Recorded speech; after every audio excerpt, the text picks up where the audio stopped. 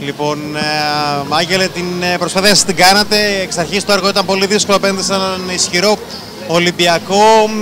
Το δεύτερο σετ ήταν αγωνιστικό, εν μέρει και το τρίτο. Ο Ολυμπιακός είναι μια πολύ καλή ομάδα. Ε, το, νομίζω το ξέρουν όλοι στην Ελλάδα, το έχουν αποδείξει. Ε, Εμείς εννοείται ήρθαμε να, κάνουμε, να δώσουμε το 100%, να πάρουμε ό,τι καλύτερο μπορούμε. Ε, φτάσαμε κοντά στο δεύτερο σετ. Δυστυχώς πάλι στα κρίσιμα σημεία έγιναν μερικές φάσεις και που δεν, δεν, ε, που δεν καταφέραμε να πάρουμε τον πόντο και δεν καταφέραμε να πάρουμε το σετ που θέλαμε. Τι έλειψε εκεί; Νομίζω, νομίζω ήταν εύκολα λάθη και θα έλεγα λίγο παραπάνω συγκέντρωση να διαχειριστούμε τα απλά πράγματα πιο καλά. Έφυγε ένα εμπόδιο αυτό του Ολυμπιακού, η συνέχεια και τον Άθλο. Και πέρα. Ε, στη συνέχεια έχουμε πολλά κρίσιμα μάτς.